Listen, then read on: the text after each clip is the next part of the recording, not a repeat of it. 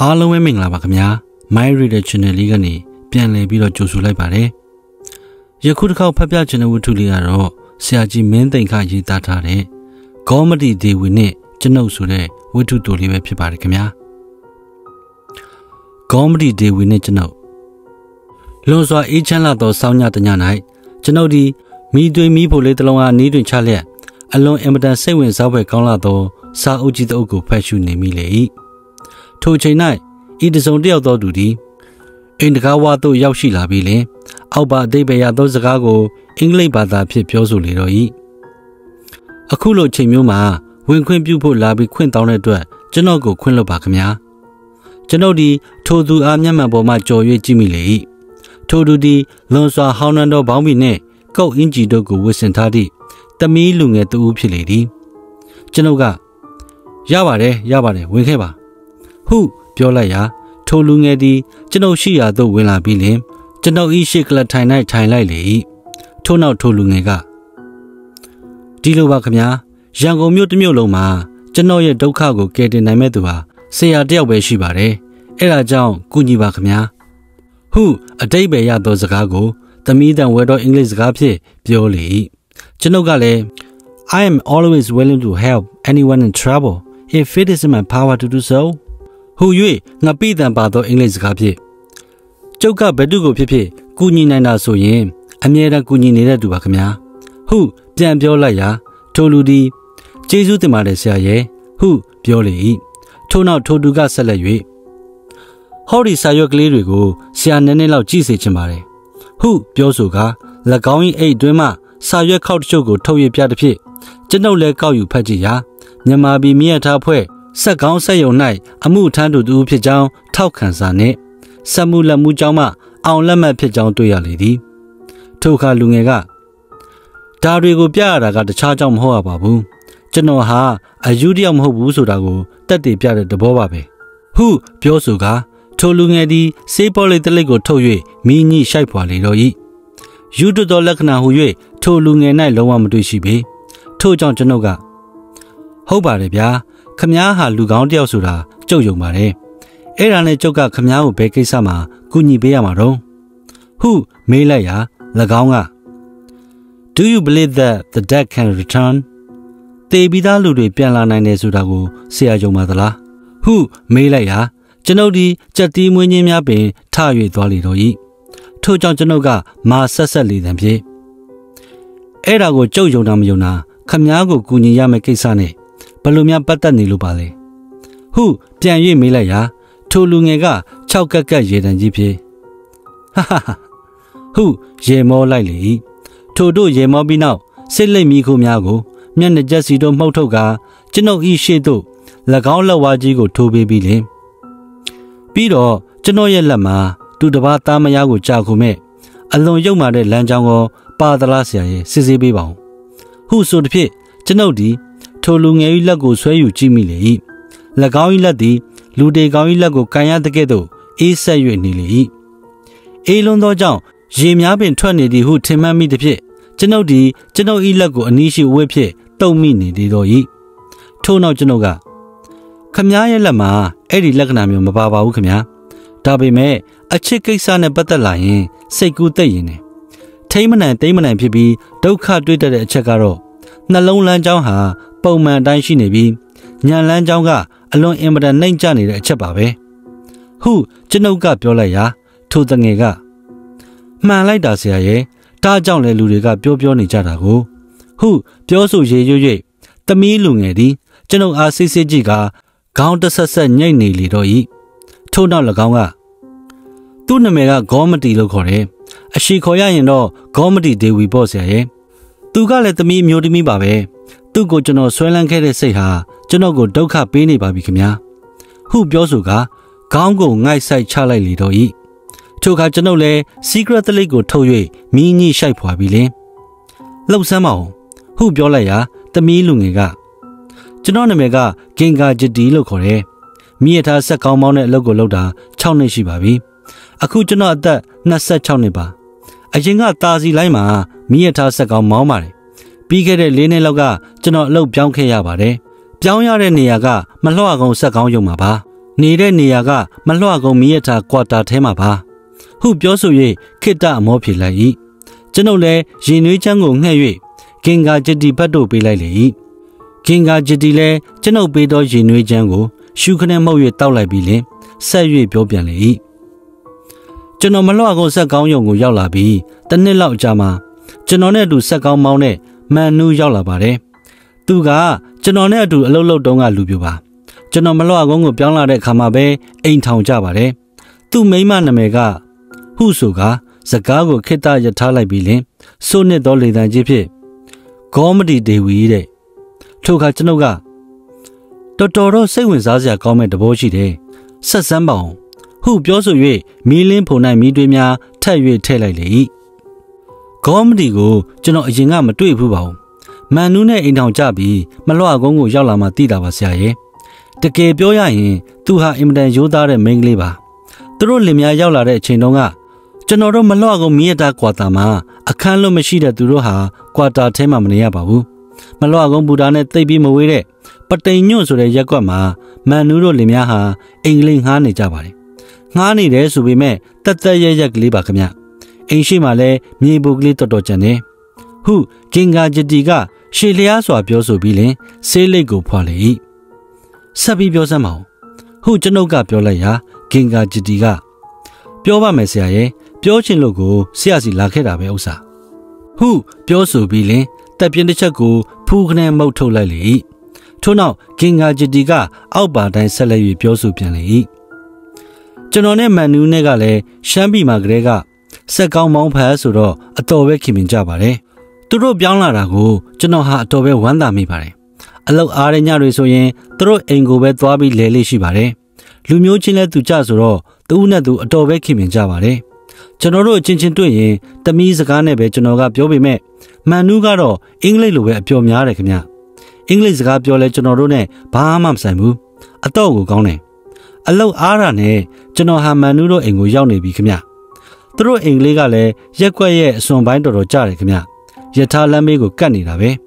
ယထာလမ်းနဲ့ဘလောက်နီးတယ်လဲဆိုရင်မန်နူးတို့အိမ်ရှိမှာစိုက်ထားတဲ့မကြီးပင်ကအကိုင်းချုပ်ကိုမြစ်ထားပေါ်ကနေလှမ်းပြီးကင်မယ်ဆိုရင်တော့ကင်လို့ရပါတယ်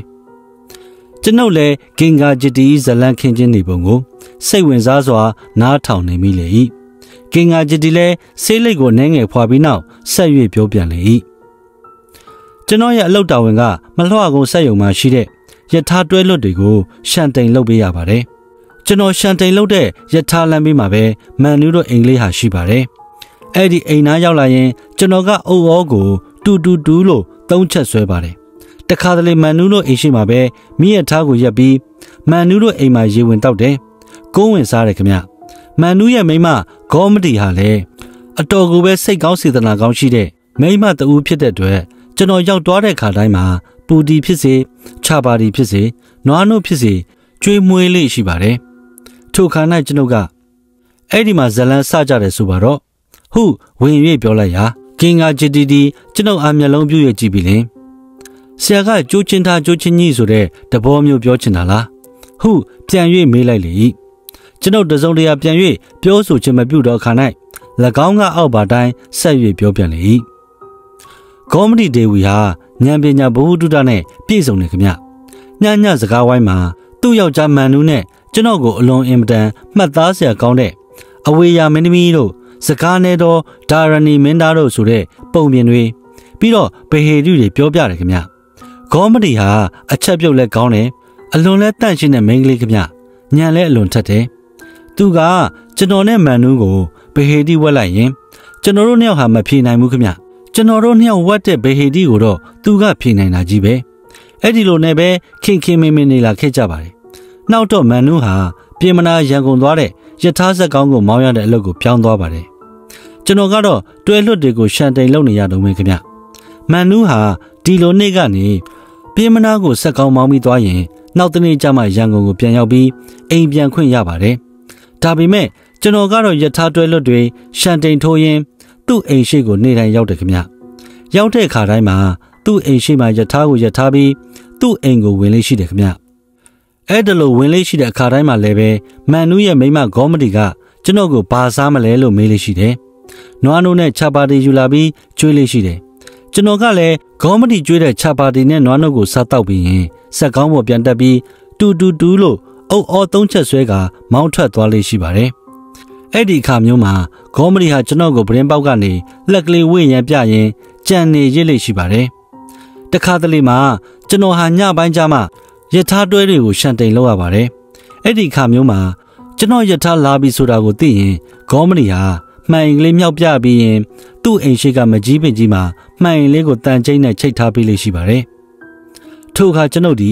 အနီးရှိဓာတ်ဘူးတွင်းမှလက်ဖက်ရည်အချိုကိုငှဲ့၍တောက်ပြီးလင်။တမီးလူမျိုး ဂင်္ဂါจิตတီပြောသောဇလန်းကိုဆက်လက်၍နားထောင်နေမိလေ၏။ထို့ခါ၌ဂင်္ဂါจิตတီကလည်းအောက်ပါတိုင်းဆက်၍ပြောပြလေ၏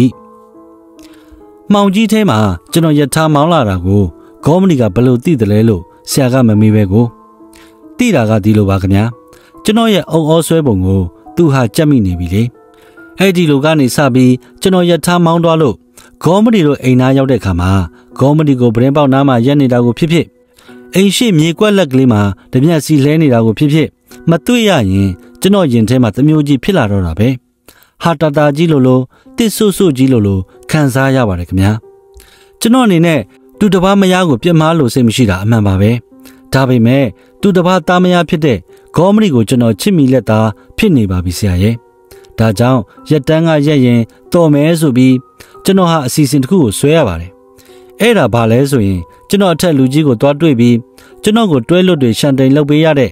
တာဝန်ကပြောင်းပေးဖို့ပြောခဲ့ပါတယ်ကျွန်တော်အထက်လူကြီးကလည်းအလွန်ပဲသဘောကောင်းပါတယ်အဲ့ဒီအလုပ်ကပြောင်းပြီးအင်းစိန်ရန်ကုန်လော်ကယ်စတားဆက်ကောင်းကိုမောင်းဖို့ပြောင်းပေးလိုက်ပါတယ်အဲ့ဒီအချိန်ကစပြီးကျွန်တော်ဟာဂေါမရီစီကိုမရောက်တော့ပါဘူးဒါပေမဲ့ကျွန်တော်ရင်ထဲမှာတော့တစ်ဆုဆုကြီးရှိနေတော့မှာပဲခင်ဗျတမီးအမျိုးသားလူငယ်ဂင်္ဂါဂျီတီတီ ခိတ္တရနာ၍ဆေးလိတ်ကိုမီးတို့လိုက်ပြီးလင်အနှဲငယ်ရှိုက်ဖွာလေ၏ထို့နောက်အောက်ပါတိုင်းဆက်၍ပြောပြန်လေ၏အဲ့ဒီလိုနဲ့တနေ့မှာကျွန်တော်စီကိုမန်နူးရောက်လာတယ်ပြီးတော့သူကဟဲ့ကောင်ဂင်္ဂါဂျီတီမင်းဟာအတော်ရုံမာတဲ့ကောင်ပဲမင်းနဲ့ငါမိမဂေါမရီဘဲခြေဆိုင်နေကြပြီဆိုတာကွာတာတစ်ခုလုံးတော့မဟုတ်ဘူးကွာငါတို့ရက်ွက်တစ်ခုလုံးပါပြောနေကြပြီမင်းလိုတစ္ဆာမဲ့တဲ့ကောင်ကိုလှက်စားချင်မယ်လို့ပြောပြီးပြန်ထွက်သွားပါတယ် ကျွန်တော်လဲဘယ်လိုပြောပြရမှန်းမသိပဲဗဇက်ဟလက်သာကြံနေခဲ့ပါတယ်နောက်တစ်နေ့မနက်မှာကျွန်တော်ဟာမီးရထားမောင်းဖို့ထွက်လာခဲ့ပါတယ်စက်ကောင်းရုံရောက်တော့လူတွေကျွတ်စီကျွတ်စီဖြစ်နေတာနဲ့ဘာဖြစ်တာလဲဆိုပြီးတွားမေးတော့အဲ့ဒီလူတွေကမင်းတငယ်ချင်းမန်နူးနဲ့သူ့မိမကလားမလေးဟာဒီမနေ့၄နိုင်လောက်ကစုံသွားကြပြီလို့ပြောပါတယ်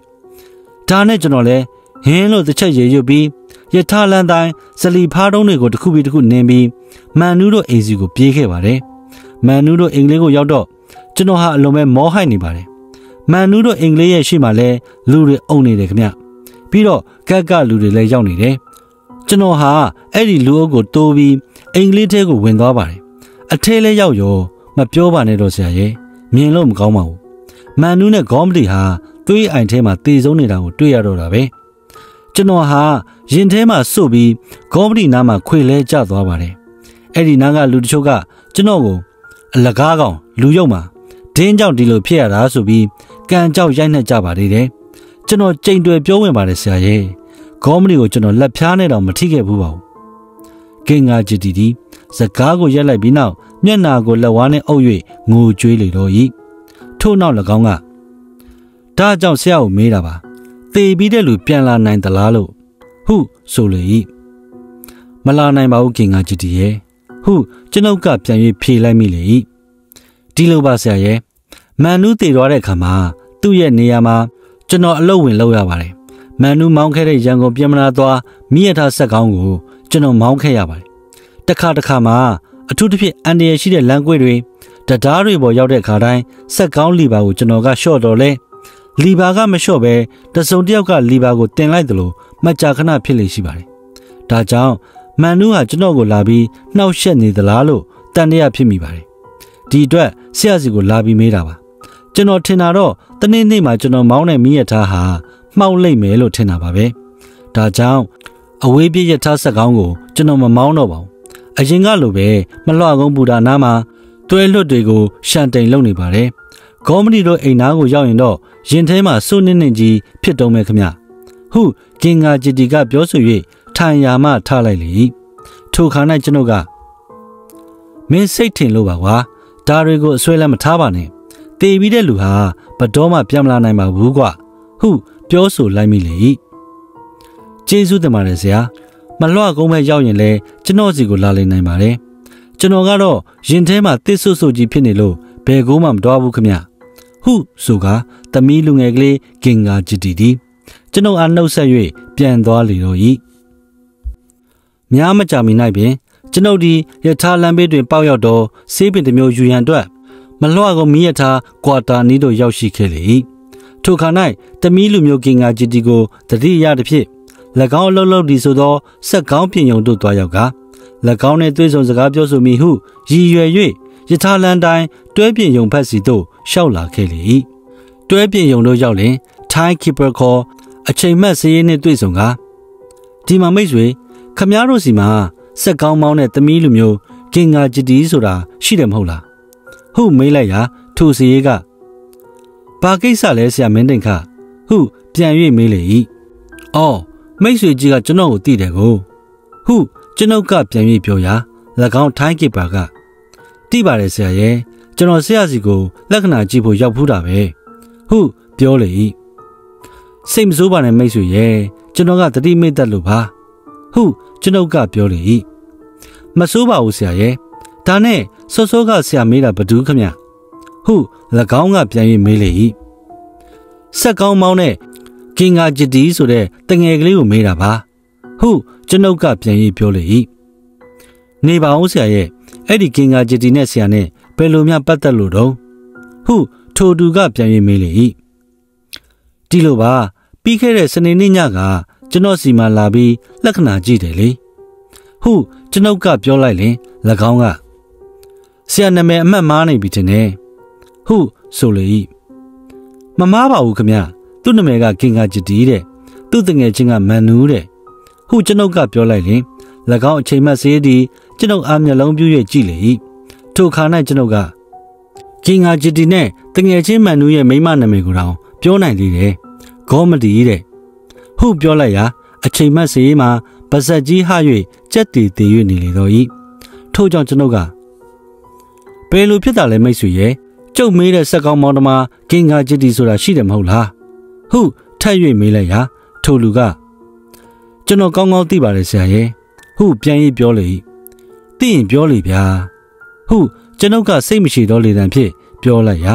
၎င်းအချိန်မှစည်းကဆရာပြောတဲ့စက်ကောင်းမောင်တမကင်္ဂါဂျစ်တီယထာမောက်လို့သေးတာ၃နှစ်လောက်ရှိပြီခင်ဗျမသေးခင်မှာသူ့တငယ်ချင်းမန်နူးရဲ့မိမဂေါမဒီဆိုတဲ့ကောင်မလေးနဲ့တောင်ဘာလို့လို့အပုတ်နှံ့ထွက်လာသေးတယ်အဲ့ဒီလင်များကကင်္ဂါဂျီတီထက်တလောက်လောက်ဆိုပြီးတေကြတယ်လေဟုပြောလိုက်ရာကျွန်ုပ်ဒီဗျာဟုရောင်ရမ်း၍ရေရွတ်မိလေတော့သည် မှတ်ချက်လွန်ခဲ့တော့၃နှစ်ခန့်ကတေဆုံးသွားပြီဖြစ်သောသမီးအမျိုးသားကင်္ဂါဂျီတီဒီပြီးခဲ့တော့တပတ်ကျော်ကျော်လောက်ကကျွန်ုပ်ဤအိမ်သို့လာ၍ကျွန်ုပ်နှင့်အတူတနားရီကြော်ကြော်စကားပြောထားခဲ့သည်ဟုကျွန်ုပ်မယုံကြည်ပါတစုံတယောက်သောလူနောက်လူပြောင်သူသည်ကြည်စဲလိုတော့တဘောဖြင့်ကင်္ဂါဂျတီ၏နာမည်ကိုသုံးကားလာရောက်နောက်ပြောင်ချင်းသာဖြစ်လိမ့်မည်ဟုကျွန်ုပ်ထင်မှတ်ပါသည်စာရေးသူဟုတ်ကဲ့ပါခင်ဗျာ ဒီနေရာလေးမှာပဲဆရာကြီးမင်းသိမ့်ခရေးသားထားတဲ့ခေါင်းမတီဒေဝင်နဲ့ကျွန်ုပ်ဆိုတဲ့ဝတ္ထုလေးဒီနေရာမှာပဲပြီးဆုံးလို့တော့ပါခင်ဗျာနားဆင်ပေးကြသူရောက်စီတိုင်းကိုကျေးဇူးတင်ပါတယ်ခင်ဗျာယခုတစ်ခေါက်ဖတ်ပြချင်တဲ့ဝတ္ထုလေးကတော့ဆရာကြီးမင်းသိမ့်ခရေးသားထားတဲ့စာပလင်းနှင်းမောင်နဲ့စတုမဟာရလူသက်မှုဆိုတဲ့ဝတ္ထုတိုလေးပဲဖြစ်ပါတယ်ခင်ဗျာစာပလင်းနှင်းမောင်နဲ့စတုမဟာရလူသက်မှု တနေ့တနေ့စာပလင်းနှင်းမောင်နဲ့ကျွန်ုပ်ဒီအင်းစိတ် CND ရုံးခန်းတွင်၌အလုံးနှင့်ပတ်သက်သော အခြားဘုဟုတုဒဖြစ်ပွဲစကားများကို ပြောဆိုလည်ရှိကြ၏ကျွန်ုပ်၏မိတ်ဆွေကြီးစာပလင်းနှင်းမောင်မှာအစိုးရဌာနတိုင်း၌နှံ့ဆက်သူဖြစ်သည့်အားလျော်စွာသူပြောသမျှသောအကြောင်းအရာတို့သည်မှတ်သားဖွယ်နီးယူဖွယ်ကောင်းသည့်ချီဖြစ်၏ယခုလည်းကိုနှင်းမောင်သည်အင်္ဂလိပ်ဝေါ်ဟာရများ၏အရင်အမြင့်များအကြောင်းနှင့်ဒေတာလိုက်သူတို့၏ရှာနေထားကွဲပြားမှုများအကြောင်းကို ပရိုဖက်ဆာကြီးတူလာနိုင်နိုင်နင်းနင်းပြောဆိုလျက်ရှိ၏အင်္ဂလိပ်ဘာသာ၌အလွန်အရေးကြီးသော pronunciation ကိုအတန်ထွက် accentuation ကိုတန်နေတန်ထားနှင့် phonetic ကိုရှာနေထားစနစ်ကြောင်းကို ရှင်းပြနေသည်ဖြစ်ရာခက်လန်းလန်းထိုင်လဲရှိသော အလွန်စိတ်ကြီးဝင်သည့်ကောလိပ်ကျောင်းထွက်ရာဇဝတ်ဝင်ထောက်ဦးမြစိန်ပင်လင်မနေနိုင်တော့ပဲကိုနှင်းမောင်၏လက်ချကိုဝင်ရောက်နားထောင်လေတော့၏ အရေးကောင်းတုံးဒိန်တောင်ဖြတ်ဆိုသည့်လားစားပလင်းနှင်းမောင်၏လက်ချကိုနားထောင်ကောင်းလဲရှိစဉ်ကျွန်ုပ်အားစုံတော့မင်းကြီးမစ္စတာကရီပင်ကခေါ်ယူသည်ဖြင့်ကျွန်ုပ်လည်းမင်းကြီးခန်းတို့ဝင်ခဲ့ရ၏မင်းကြီးခန်း၌ကျွန်ုပ်နှင့်မင်းကြီးစကားပြောဆိုနေကြစဉ်တစ်ချက်တစ်ချက်၌ရာဇဝဝင်ထောက်ဦးမြဆန်၏စောတကတက်တိအတန်နှင့်စာပလင်းနှင်းမောင်ကကြံကိုကြံကားများရွတ်ဆိုပြ၍ရှင်းလင်းတံများကိုကြားလက်ရှိ၏ ကျွန်ုပ်ဒီသူတို့၏အတန်များကိုဂရုမစိုက်နိုင်ပဲမင်းကြီး၏ညွှန်ကြားချက်များကိုလိုက်လံမှတ်သားနေရ၏မင်းကြီးသည်လှဲကူကမှအကူအညီတောင်းထားသောလူတက်မှုပူပူနွေ့နွေ့အကြောင်းကိုပြောပြလျက်ကျွန်ုပ်အားအမှုမှန်ပေါ်ပေါက်စေရန်တာဝန်ပေးလိုက်၏အမှုမှာလှဲကူးမြို့ပိုင်ကျူးချောင်းကျေးရွာနှင့်လေးတောင်ကန်ကျေးရွာကြား၌ဖေတမာဖိုးညွန့်ဆိုသူအသက်ခံရမှုဖြစ်၏တေဆုံးသူဖိုးညွန့်သည်ပြင်းထန်သောဒဏ်ရာများနှင့် လယ်တွင်းထဲ၌လဲလဲရှိစဉ်ကြွက်ထိုးသမားများ၏ပြောပြချက်အရသူတို့နှင့်တွေ့ချိန်၌ဖိုးညွန့်သည်မသေးသေးပဲနောက်ဆုံးစကားတခွန်းပြောသွားနိုင်သေးကြောင်းအတန်မှာတိုးလွန်းနေသည်ဖြစ်၍ကြံလူများကဖုံးညွတ်တေခါနီး၌စကားတခွန်းပြောသွားသည်ကိုသာသိတော်လေမိသည့်စကားဖြစ်သည်ဟုမကြားလိုက်ရကြောင်းတို့ရတွင်ဖုံးညွတ်အားပွေပေးထားသော အေးမောင်စုသူကမူဖုံးညွတ်၏ပါဇက်နှင့်သူ၏နားပေါက်မှအလွန်နီးလက်ရှိရကားလုံးစစ်ပတ်စစ်ပင်ကြားလိုက်ရသည်ဆို၏ အေးမောင်ကတကြီးကိုရောလှဲကူကက်ကိုပါပြောပြရ၌ဖုံးညွတ်သည်အသက်ထွက်ခါနီး၌စတုမဟာရဟုတခွန်းတဲတာပြောရသည်ဟု၍ဖြစ်၏လှဲကူကမအမှုလိုက်ရာဇဝဲအုပ်အနေနှင့်တေသူဖုံးညွတ်ပြောသွားသောစတုမဟာရဆိုသည့်စကားအားမိတို့မြဆက်ဆက်၍အတိတ်ပဲမကောက်နိုင်ကြောင်းကိုလည်းကျွန်ုပ်တို့ CID တို့ရေးပို့သောအစီရင်ခံစာ၌ဖော်ပြထား၏ထို့ကြောင့်ကျွန်ုပ်သည်စာပလင်းနှင်းမောင်နှင့်အတူလှဲကူကမတဆင့် အခင်းဖြစ်ပွားရာနေရာသို့တွားရောက်စုံစမ်းမိဖြစ်ကြောင်းမစ္စတာကရပင်အားပြောကြားပြီးနောက်ဆလံဘေးကသူ၏အခမ်းမှထွက်ခဲ့လေသည်ကျွန်ုပ်ဒီကားကိုဘကိုးဘတ်တို့ဥတီ၍မောင်းနေလက်ရှိ၏ကျွန်ုပ်၏ဘေးတွင်စာပလင်နှင်းမောင်ကထိုင်၍တစုံတရာအားလေးနက်စွာစဉ်းစားရင်းလိုက်ပါလာ၏အိုက်စီကိုနှင်းမောင်ဒီမှုကိုခမားအနေနဲ့ဘယ်လိုသဘောရသလဲကျွန်တော်ဖြစ်အမှုနဲ့ပတ်သက်ပြီးမစင်စားမိသေးပါဘူး ဒါပေမဲ့ကျွန်တော်တို့ရောက်သွားပြီးနိုင်ပိုင်းအတွင်းမှာတရားခံပေါ်မဲ့အမှုပါအိမ်ပြီဟုတ်ပါပြီလေကျုပ်စဉ်းစားလို့မရတာကတော့တေခါနီးမှာတေဆုံးသူဖေတမဘုန်းညွဟာစတုမဟာရဆိုတဲ့စကားကိုဘာကြောင့်ပြောသွားရတာလဲစတုမဟာရဆိုတာနှက်ပြီပဲဗျထားပါလေ IB ပြောသလိုပဲဘုန်းညွကစတုမဟာရနှက်ပြီကိုရောက်ဖို့အကြောင်းရှိနိုင်ပါမလားမသေးခင်နိုင်ပိုင်းတွင်းမှာဖဲရိုက်ခဲ့တယ်ဆိုတော့လောဘစိတ်တွေများခဲ့မယ် ပြီးတော့သူ့ကိုတတ်တဲ့လူပေါ်မှာလဲဒေါသဖြစ်နေမှာပဲအဲ့ဒီတော့လောဘနဲ့ဒေါသမီးတွေကြောင့်တမာဒိဋ္ဌိဆိုတဲ့အမြင်မှန်ကိုမမြင်တွေ့ခဲ့တဲ့အတွက်မောဟစိတ်တွေကလည်းလွှမ်းမိုးမိမှာပဲအဲ့ဒါလောဘဒေါသမောဟဆိုတဲ့တရားသုံးပါးကအကုသလဟေတုခေါ်တဲ့အကုသိုလ်စိတ်တွေဖြစ်တယ်လို့ဟေတုပစ္စယောအစရှိတဲ့ပဋ္ဌာန်းဒေသနာမှာဟောထားတယ်မဟုတ်လားဗျတော်ပါပြီဗျာခမားဟာအမှုလိုက်တဲ့နေရာတစ်ခုတည်းမှာတော်ရင်ဖြစ် ကျုပ်တလောက်အထင်ကြီးမှာမဟုတ်ဘူးအခုတော့ခမားမခောက်မိမသိမိခဲ့တဲ့အကြောင်းအရာဟာမှတ်ရှိသလောက်ပဲကိုနေမောင်ကျွန်တော်တို့နှစ်ယောက်ဒီရေကာမောကာနဲ့စကားပြောလာခဲ့ရာနောက်ဆုံးလှဲကူကက်သို့ရောက်လာခဲ့ကြ၏လှဲကူကက်တွင် အမှုလိုက်ရာဇဝဲအုပ်မောင်ပါဆိုသူအားဝင်ရောက်ခေါ်ခဲ့ပြီးနောက်အခင်းဖြစ်ပွားရာလေးတောင်ကန်ကျေးရွာတို့ဆက်လက်မောင်းနှင်ခဲ့ကြ၏လှဲကူကက်မှလိုက်ပါလာခဲ့သောရာဇဝဲအုပ်မောင်ပါသည်စာပလင်းနှင်းမောင်အား မခိုးမခန့်အကြည့်မျိုးနှင့်ကြည့်လိုက်ပြီးနောက်ကျွန်ုပ်အားစကားပြောလေသည်ဆရာဒီမှုဟာအစကတော့နက်နက်နဲနဲရှိမယ်လို့ကျွန်တော်လည်းထင်မိတာပဲဒါပေမဲ့အခုတော့တရားခံမိဖို့တိတ်လွယ်နေပြီခင်ဗျာဘယ်လိုကြောင့်လဲကိုပါဒီလိုလေးဆရာရဲ့ဖိုးညွန့်တည်တဲ့ညမှာကြာနီကန်ရွာမှာပွဲရှိတယ်ခင်ဗျာဒီအချက်ကိုတတိမမူမိလို့တလောက်အမှုဟာရှုပ်သွားတာပါပွဲရှိတာနဲ့ဒီလူသက်မှုကဘလို့ပတ်သက်နေလို့လဲဗျ အရှင်ကြီးပဲဆရာရဲ့ကြာနီကန်ရွာနဲ့ဖိုးညွန့်တည်တဲ့နေရာနဲ့တိတ်ပြီးဝေးတာမှမဟုတ်ပဲကျွန်တော်ကောက်ချက်ရတော့ပွဲထဲမှာနှက်သားခန့်ကပါဝင်ပြီးကရတဲ့လူတယောက်ဟာနှက်သားဝစားမချွတ်အားပဲဖိုးညွတ်ကိုလမ်းကနေစောက်ပြီးတတ်လိုက်မယ်ဖိုးညွတ်ကဒါကြောင့်သူ့ကိုတတ်တဲ့လူဟာနှက်ဝစ်နှက်စားပြောချင်တာအဲ့ဒါကြောင့်စတုမဟာရာလို့ပြောခဲ့တာကျွန်ုပ်ဒီစာရင်းနှင်းမောင်ဟာအကူအညီတောင်းရတော့၏ဘယ်လိုလဲကိုနှင်းမောင် ကိုပါပြောတာကိုခမသဘောတူနိုင်ပါမလားတေခါနီးဆက်ဆက်လူတယောက်ဟာသူ့ကိုတကယ်ပဲပွဲထဲကနှက်ဝစ်နှက်စားတဲ့လူက လာတက်တယ်ပဲထားပါတော့ပြောတဲ့ခါမှာပွဲထဲကလူဒါမှမဟုတ်လဲနှက်လို့ခတ်တွတ်တွတ်ပဲပြောနိုင်မယ်တာဝတိန်တာယာမာအစရှိတဲ့နတ်ပီ6တက်ရှိတဲ့အထဲမှာစတုမဟာရဆိုတဲ့နတ်ပီဟာအခေါ်ရအခက်ဆုံးစကားမဟုတ်လားဟုကိုနင်းမောင်ကပြန်ပြော၏ဤသို့စကားတပြောပြောနဲ့လာခဲ့ကြရာ နောက်ဆုံး၌အခင်းဖြစ်ပွားရာလေးတောင်ကန်ကျေးရွာအဆက်လေကွင်းထဲသို့ရောက်ရှိခဲ့ကြ၏ရွာလူကြီးဦးနီသည်ဖုံးညွန့်ကိုတွေ့ခဲ့သည့်ကြွက်ထိုးသမားများကိုခေါ်ပေး၏ထိုထဲတွင်စတုမဟာရဆိုသည့်ဖုံးညွန့်၏နောက်ဆုံးစကားကိုကြားလိုက်ရသောအေးမောင်ဆိုသူလည်းပါ၏ကဲကိုအေးမောင်ဖုံးညွန့်လဲနေသလိုခမလဲပြစမ်းဟုစာပလင်းနှင်းမောင်ကအေးမောင်ကိုလဲပြခိုင်းလိုက်၏စုံတောင်းမှုအသက်ပညာ၌ဤသို့တရုတ်တူလောက်၍ တဲလွန်ဆရှာဖွေရသောနည်းကို demonstration ဟုခေါ်၏အေးမောင်သည်ကိုနှင်းမောင်ပြောသည့်အတိုင်းမြေကြီးပေါ်၌လှည့်၍အိတ်လိုက်လေ၏ကိုနှင်းမောင်သည်အေးမောင်အားဝင်ရောက်ပွေ့ချီလိုက်ပြီးနောက်အေးမောင်၏နားသို့တစုံတစ်ခုကပ်၍ပြောလိုက်သည်အေးမောင်သည်တကယ့်တန်ရာရတုကဲ့သို့လဲနေရမှပြန်၍ပြော၏အတန်မှာမပီမတဘလုံးပထွေဖြစ်နေသည်ဖြင့်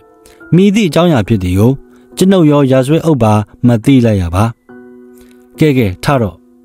စာပရင်းနှင်းမောင်ကအေးမောင်ကပြန်၍ထခိုင်းပြီးနောက်တစုံတရာကိုထပ်၍မေးပြန်၏အေးမောင်ကပြန်၍ဖြေ၏အိုင်မီတို့နှစ်ယောက်တနတ်ပါတယ်မဟုတ်လားပါပါတယ်ကိုလင်းမောင်တက်ခန့်ပေါ်ပါပြီအိုင်ဘီဘူဒါနာကထမင်းဆိုင်မှာစန်ထူးဆိုတဲ့ကောင်ရှိတယ်ကျွန်တော်တို့သူ့ကိုတွားဖမ်းရလိမ့်မယ်ကျွန်ုပ်ဒီစာပရင်းနှမောင်ရဲ့အရေးတွေကိုယုံကြည်လုံးရသားလင်းတွားရောက်ဖမ်းဆီးရတော့လဲ ဤမြလွယ်လွယ်ကူကူနဲ့တက်ခန့်ပေါ်လိမ့်မည်ဟုမထင်မိခဲ့ပါထမင်းဆိုင်မှာစန်တူးဒီကျွန်တော်တို့တွားရောက်ဖမ်းဆီးစဉ်၌ခုခံရန်ကြိုးစားသေးတော်လဲတရားခံတို့၏တဘာဝကိုတာမကတပ်ပုတ်ခြင်းအလုံး၌လည်းအထူးကျွမ်းကျင်လာသောကိုနှင်းမောင်၏လက်သည်လဝဆောင်နှင့်ဒူကောင်းများ၏ဒဏ်ကိုမခံနိုင်သဖြင့်ငြိမ်သက်စွာဖမ်းခံရတော့၏မလွတ်နိုင်သည့်အဖြစ်ကိုသိသောစန်ထူးသည်ဖုံးညွအားသူနှင့်အပေါင်းပါနှစ်ဦးကတက်ခဲ့ကြောင်းကိုဖြောင့်ချက်ပေးလေတော့သည် တရားခံဖော်ခဲ့ပုံလေးတစ်ခေါက်လောက်ရှင်းစမ်းပါဦးကျုပ်ဖြစ်အမှုမှာညံကိုမမီတော့ဘူးပြို့ဒီလိုပါအိုင်ဘီအင်္ဂလိပ်စာမှာ fanatic ခေါ်တဲ့အတန်ထွက်ပုံနီးစနစ်ရှိသလိုကျွန်တော်တို့မြန်မာစကားမှာလည်းရှိပါတယ်နီးစနစ်ကတဒါကျမ်းမှာမပါပေမဲ့စမ်းကျမ်းမှာတော့အတော်လေးပြည့်ပြည့်စုံစုံဖော်ပြထားပါတယ်အဲ့ဒီတော့စတုမဟာရာလို့အေးမောင်ကြားခဲ့တယ်ဆိုပေမဲ့ဖိုးညွန့်ကိုဒီလိုပြောခဲ့တာမဟုတ်ဘူးလို့စဉ်းစားရတာပေါ့လေစလုံးရဲ့အတန်ဟာရှာမှာဖြစ်ပေါ်တယ်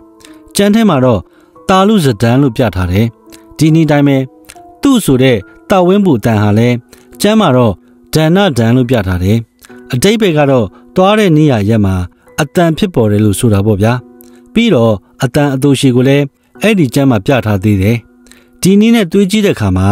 စတုမဟာရလို့ပြောချင်တာမဟုတ်ပဲကြားရသူနားထဲမှာစတုမဟာရလို့ကြားလိုက်ရတာပါဒါကိုကြမ်းတိုင်းရှင်းပြနေရင်တော့တဲပြီးမလွယ်လှဘူးအိုင်ပြီးဒါကြောင့် ကျွန်တော်ကတခုစမ်းကြည့်တယ်လေဘယ်လိုစမ်းကြည့်တာလဲကိုနေမောင်တေခါနီးလူများဟာစကားကိုပီတာအောင်မပြောနိုင်လို့မဟုတ်လားဒါကြောင့်အေးမောင်ကိုဖုံညွန့်လဲသူလဲခိုင်းပြီးသူကြားရတယ်ဆိုတဲ့စတုမဟာရကိုရှာကိုခောက်ပြီးတိုးတိုးပြောခိုင်းကြည့်တယ်ဒီတော့ဘလို့ကြားလဲ